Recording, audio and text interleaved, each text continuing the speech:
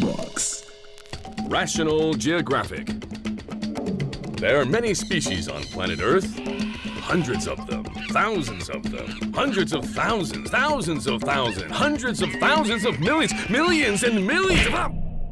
But only one of them is capable of rational thought. Don't tell me. Human beings! That's right! Today in Rational Geographic, the gymnasium. Hello, I'm Bob.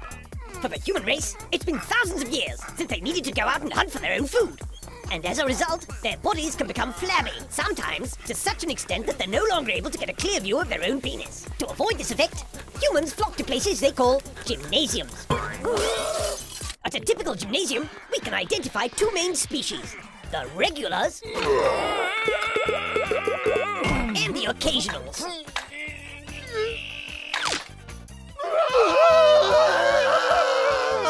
Many human specimens use the gymnasium as a place to seek out sexual partners.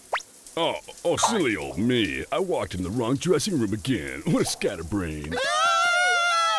Some will even end up seducing themselves.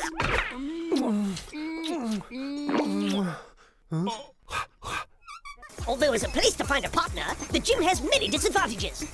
Hey there, beautiful. Has anyone ever told you that your lips are like pink rose petals touched by the first soft light of the morning?